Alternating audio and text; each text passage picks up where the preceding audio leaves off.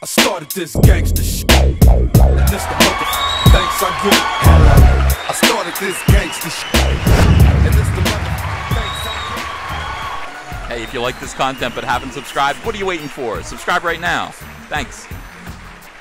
All right, it's Comic Artist Pro with the Disney Channel Flow. My name is Ethan Van Sciver, 26 year veteran of this dying, sad uh, comic book industry. World's most charming, elegant, eloquent, and yet humble man.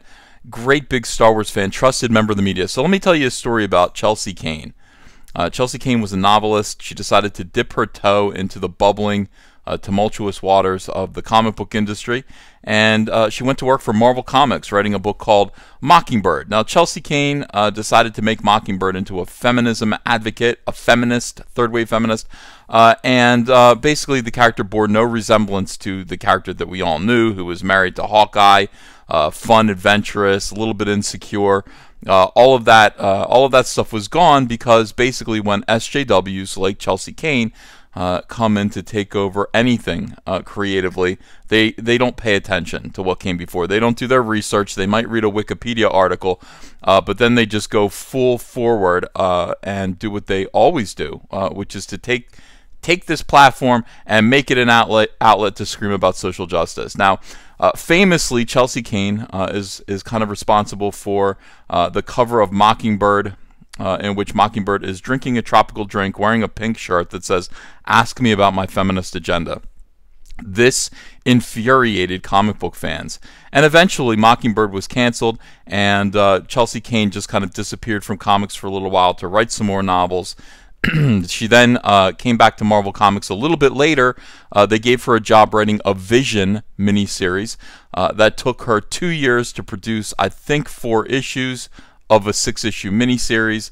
Marvel quietly canceled it and kind of asked her, Chelsea, would you kind of take a walk? Just uh, we're going to pay you. We'll pay you your kill fee.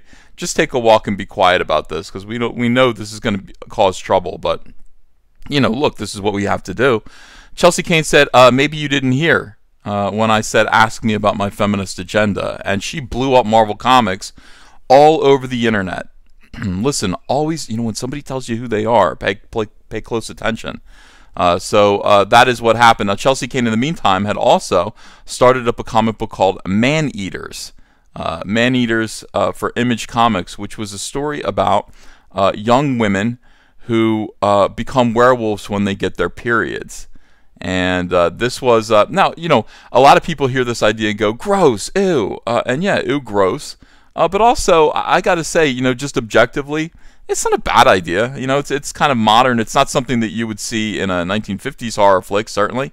Uh, it, but it is. You could kind of picture it happening today in horror movies today. Uh, so you know, look, it, it is what it is. It's a neat idea that's a little bit gross. Uh, the question is execution. Can Chelsea Cain execute this comic book well? Uh, now, the answer to that has been mixed uh, and varied. Some people thought it was pretty good. Uh, other people thought it was uh, a good idea but boring, and some people thought it was just dreadful. Uh, that is irrelevant to what is happening to Chelsea Cain now. It doesn't matter if Chelsea Cain was writing Man Eaters spectacularly. It doesn't matter if Chelsea Cain's idea for Man Eaters was genius or garbage. It doesn't make any difference to SJWs and to the persecution that she is suffering right now. Chelsea Cain is under attack for being trans exclusionary. All right, let me explain what that means. So, in her story, you'd picture these little girls, okay, and they get their superpowers or their werewolf powers or whatever it is that they do when they, uh, you know, menstruate. Uh, now, transgenders uh, within comics uh, and transgendered advocates, I believe, uh, and SJWs in general. Let's just say SJWs in general, uh, because I don't believe all trans people are upset about this at all. Um, but SJWs are coming down hard on Chelsea Cain because, well, you know, why aren't there any trans girls that become werewolves when they menstruate? all right, you know, I mean, you can you can figure out the problem that that is a perplexing situation for Chelsea Cain to find herself in. That is, there is no way out of that if you're an SJW except to say all of you go away, like leave me alone, uh, you weirdos, and to realize once and for all the Comicsgate was right from the start. You know, Chelsea, we were right about these people, and I, I know you try to swim with these people. They, they are piranhas who uh, do piranhas swim in schools. I don't think they do. Do they? They might. Let's just say the piranhas swim in schools. Okay, well, this is a special new breed of piranha. Uh, SJWs are like piranhas that swim in schools. If you ever watch a school of fish, they all follow the same current, the same tide. For some reason, they know to the minutest detail how to swish their tail uh, at the right moment, where to turn suddenly. Uh, they're all in sync with each other. The minute one of them goes out of sync, uh, you know, let's just say these piranhas will turn on that uh, other piranha, that pariah piranha, and they will gobble it up. And that is uh, always the case, Chelsea. Chelsea Cain, they have turned on you and they've decided to gobble you up. And I don't know why. Okay, I have my theories. Uh, one of my theories is that whatever happened at Marvel Comics, however the uh, Vision miniseries went down, like the asking her to be quiet and her blowing them up, uh, that displeased a lot of weirdo SJW gatekeepers who decided to take Chelsea Cain out. That is my personal theory. And people say I'm paranoid, but just because you're paranoid doesn't mean they ain't out to get you. And these weirdos are out to get you. I, I do believe that you know that is kind of the way things work. Uh, if you fall out of line, uh, the powers that be will will come down and take you out. So my theory could be wrong. Uh, let's see what SJWs are saying. So here's Chelsea Cain, by the way. Let's see this. Uh, she says, "Man Eaters Volume Two comes out tomorrow. Support local comic book uh, stores and independent bookshops. Uh, these are the retailers who keep our books, books like ours, alive. they hand sell this sucker. yeah, that's sad. Please give them your business. It matters. I want you to look at this cover, by the way. It's a glittery paw print of blood." I, I, don't I don't know if it gets you know more explicit than that. I, I think that kind of sums it all up. Uh, you know, uh, all right, let's move on here. So Chelsea's advertising her book. Good for her. Uh, and here we go. In light of using your book to mock a fan's concern, I think I'll drop my subscription and support my local comic shop with another title, Bummed. Uh, now, uh, what are they talking about here? Uh, you took valid, gentle criticisms from trans women and put them in the mouths of fascists. Hard pass. What? What did she do? So she's advertising the second issue of uh, of her book. They're just starting to read her book, and let's find out what it is that Chelsea did. Uh, this guy says. Uh, it's especially cool if you like criticisms of trans erasure and cultural appropriation. My God, it's just a headache with these people. It is a headache with them. This is this is headache inducing criticisms of trans erasure and cultural appropriation to be mocked in a passive aggressive, oppressive way. Passive aggressive, oppressive. Uh, and or if you like it when creators steal other people's tweets. By the way, SJWs have a real bee in their bonnet, okay, about their, the idea that the things that they tweet on Twitter are copyright protected. They have uh, they have a copyright. They have every right to just say whatever they want to say in public on a public platform, and they own the rights to their tweets, and nobody can exploit them for any reason. Uh, they're obsessed with the idea of suing people for copyright infringement for actually showing the world what these maniacs say. So, in other words, uh, this person right? No, no, no, no, no, no. No, no, no. Where'd he go? I thought I had him here. Oh, this guy right here. Uh, let's. We'll go back and we'll look at those others. So, uh, that Maneaters comic with the tweets is definitely a violation of copyright, and I would encourage the people who originally uh, posted those tweets uh, to take action ASAP. More information about how Twitter copyright works here. Uh, actually, Twitter uh, says that when you post here on Twitter, all of your tweets uh, are open for exploitation. You are giving them away. they, they make that very clear. It's in the actual contract in the opening. Anything that you tweet can be used by anyone else. Uh, that is that is the way it goes. I know that you guys don't want to actually pay the the social cost uh, of normal people looking at what it is that you're saying and what you're doing and the torture that you inflict on uh, normal and somewhat normal people. Uh, and not and not have to uh, pay any social costs for that, but unfortunately, your tweets are uh, public property as soon as you tweet them. So let's scroll back a little bit and let's just look at what this is. All right, uh, this person says, "I am uncertain if the inclusion, if the inclusion of these tweets is a recognition of valid criticism or if it's mocking them. Uh, they appear in what is essentially a correction facility, yet they are worded so profoundly that they come across as positive, uh, not aggressive. Hashtag man eaters. So this is what Chelsea Cain did, and this takes." Uh, this takes uh, incredible moxie. I gotta say, I am I'm impressed. Uh, she actually took the crazy tweets that she was receiving from SJWs who were saying you need to have more trans women in this comic. And she just posted them on the walls of whatever this is. I think this is some kind of clinic that these girls are waiting in line for. And then on the wall are these framed pictures. And in the pictures are the tweets that Chelsea Cain is receiving that are, quite frankly, insane. Uh, I appreciate any comic on menstruation and the literal violent eating of men. I super duper do. But Man Eaters further cements the toxicity of a gender binary in a he- some heavy-handed, sad way. Uh, of course, Chelsea Cain used, you know, kind of put the twit, the tweeter, the tweeter, the Twitter tweet uh, logo here, and then had this kind of heavy woman uh, blocking uh, whoever it is that actually tweeted that. It's very considerate. Uh, and then over here, same thing. I want to like at Image Comics, uh, the Man Eaters, Man Eater so bad, but it is so heavily founded, so heavily founded in bio essentialism. Let me say that again. In bioessentialism, I wanted to say existentialism for some reason.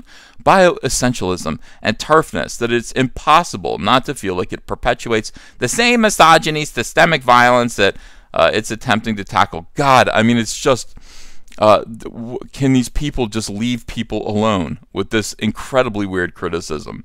So uh, again, um, why did she do it? I mean, that is that is the question. She says the thing. This person says with the colorful hair, cartoon avatar that no doubt uh, makes this person look a lot more attractive than they look in real life, uh, and colorful hair. Uh, actually, I'm not sure the pronouns here are confusing. I'm not sure what's going on. Uh, the tweet about Chelsea Cain, uh, including those tweets in Maneaters, is what she's pretending.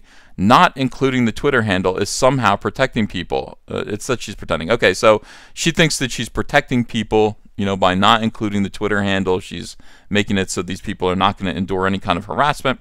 Did you know people can still find those tweets, Chelsea? Um, yeah, they could. They could just look up the tweet. They could just literally search in the exact text of that tweet and then find out who said those things. Chelsea says, I didn't know that.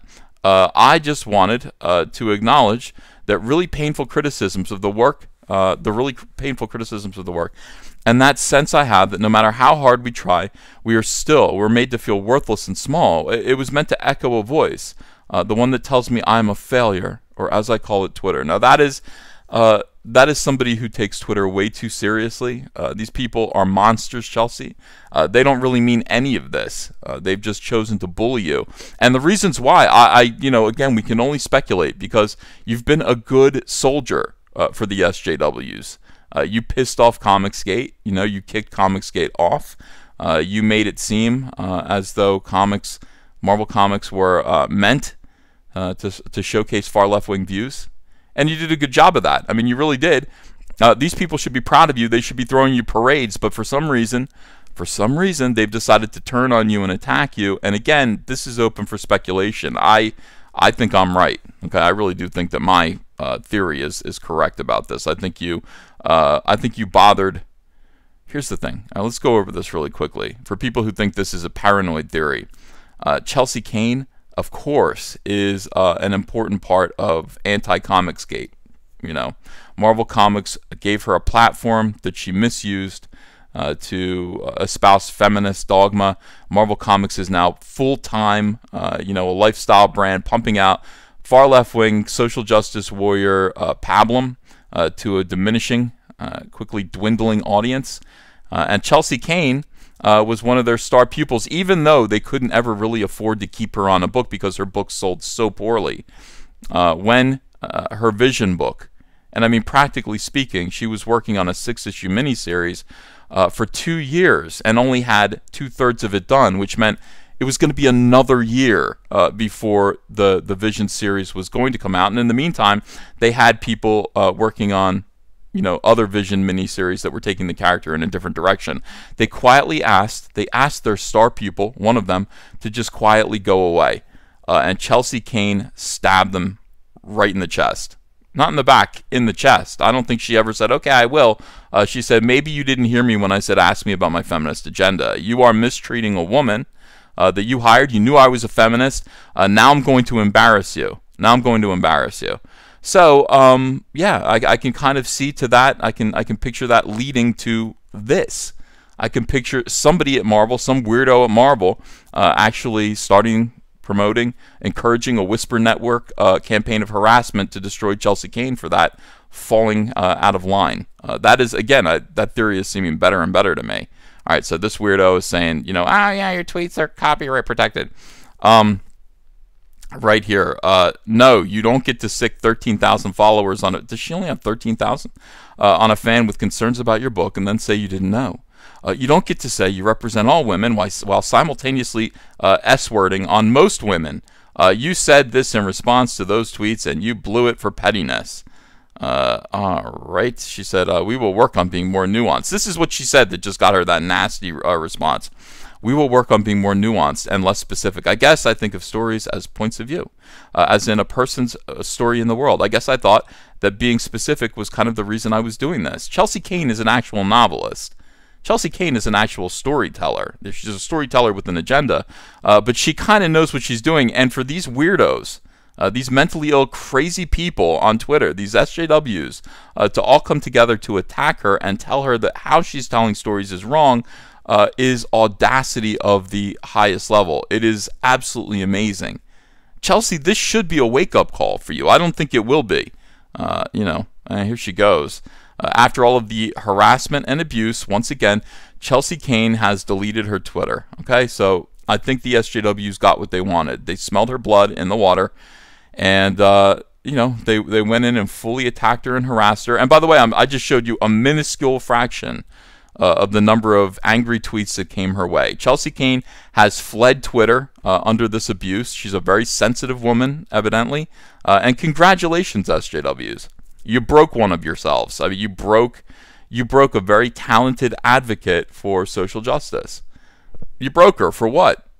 I don't know. I'm not sure. Uh, but let's see. Uh, this person here, I'm pretty sure this is a fake account or it's like a parody account. It, it has to be.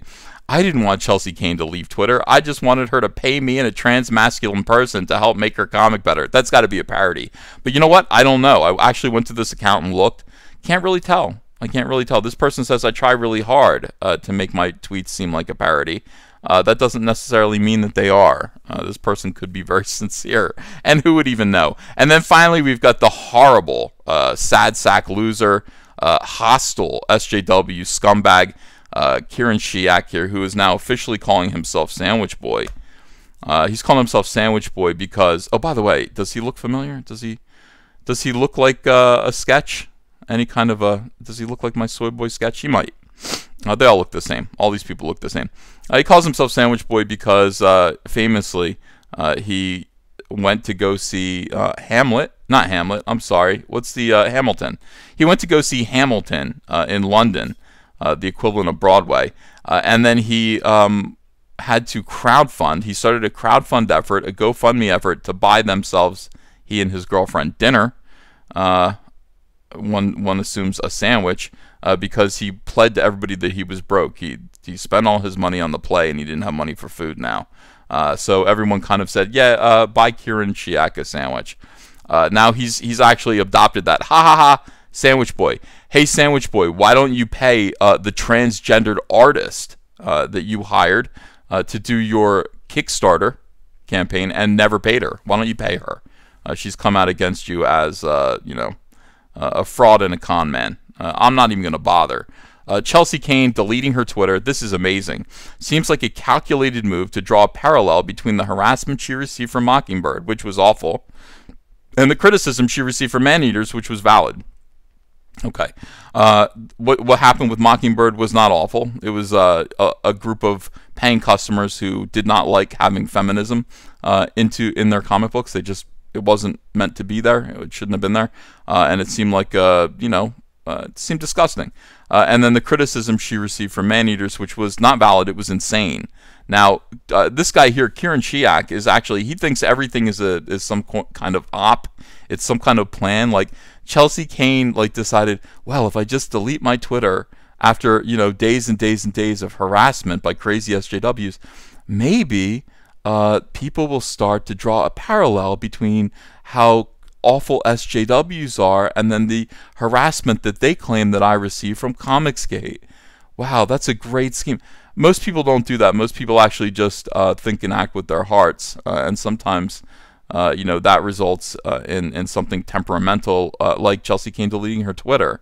But these people are so cynical, and also, um, I, don't know if they feel shame for this. He says it also reinforces the idea that trans people contribute to the patriarchal oppression of cis women. Well, I didn't say it. I didn't say it.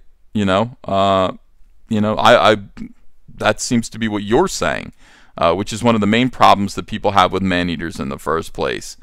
Well, uh, if that is the case, if that is the case, uh, well done in proving those people correct. Uh, Chelsea Cain did absolutely nothing wrong. Uh, she wrote a book that was, uh, you know, I, I don't know. I, I, again, I don't know how to describe it. I kind of admire the the interesting idea of it. Does it appeal? It might appeal to 13 year old girls who you know are only beginning, you know, becoming women, uh, and it's a confusing thing. And the idea of associating superpowers with you know uh, becoming a woman, I, you know, it might be a cool thing. It might be a cool idea. Uh, they they might be able to deal with you know getting their periods, which I imagine is is kind of traumatic and scary for some of them. Uh, in this way, it's, it's a pretty neat book that serves that that purpose and that little that little audience there. Uh, I don't think she meant for it to speak up against for all kinds of women. I think she was just telling a little story, and I think people like this are psychopaths who um, hinder artwork. They hinder art. And this was very much art. And we can disagree with what Chelsea Cain has to say about all kinds of other things. Uh, but it should be clear at this point that SJWs are in the way of uh, art. They stop it, they kill it, they kill it dead, they chase it away, uh, and make people sad. Uh, you know, so F you. Uh, I want to make that clear, dude. F you. Uh, and Chelsea Cain, I don't know what to say. you know, Comicsgate uh, is watching all of this. I think Comicsgaters are watching all of this and, and feeling kind of validated by it. Uh, feeling kind of validated by the abuse that we just watched you suffer at the hands of the very people that we said are killing the comic book industry. You are one more example of them doing just that. Thank you. I know this was kind of a long video, but it's a big story, uh, and uh, you know I, I, wanted to get it out there and and, and uh, put my point of view about it, you know, uh, out there while people are talking about it. Thanks for listening. Subscribe, uh, you know, hit like. Please share this video. Talk about it. What do you think about this in the comments? Uh, you know, tell me what you think about the idea. Tell me what you think about why they're doing this.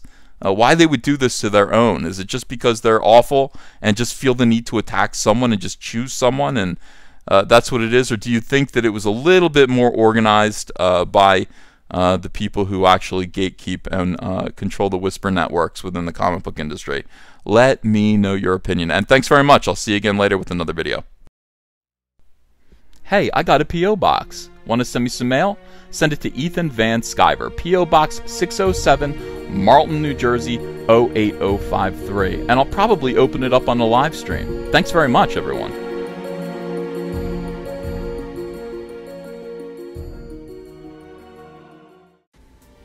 Hey, you want to follow me on Twitter? Are you sure? Well, if so, I'm at Ethan Van Sciver. That's at Ethan Van Sciver. See you there.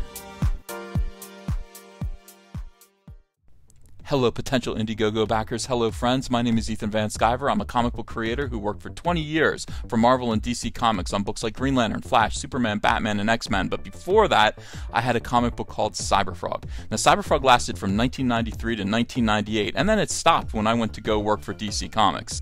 Now I want to tell the story of where Cyberfrog has been for the last 20 years.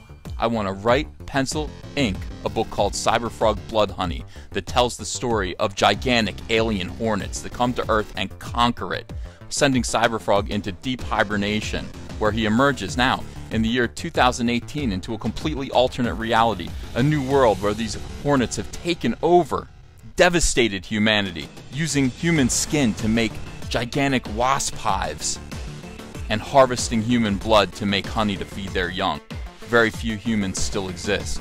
But it's up to Cyberfrog to save what's left of humanity and turn back the damage that's been done by these wasps with his brother Salamandroid and his friend Heather Swain. I want you to help me do this. We're going to get colors by Kyle Ritter. He's a fantastic colorist, and he's going to make this book sing. Uh, I'd like this to be a 48 page one shot prestige format, part one of four. So I'm asking you to help me launch the very first Cyberfrog Blood Honey epic graphic novel. Are you in? Will you help me? I hope so. Let's get this frog jumping again. If you enjoyed this video and want to become part of this community, subscribe to this channel by clicking the laughing man face logo right on your screen. Ring the bell for notifications as well. You'll never miss a live chat. And stay tuned, another video by Comic Artist Pro Secrets is coming right up.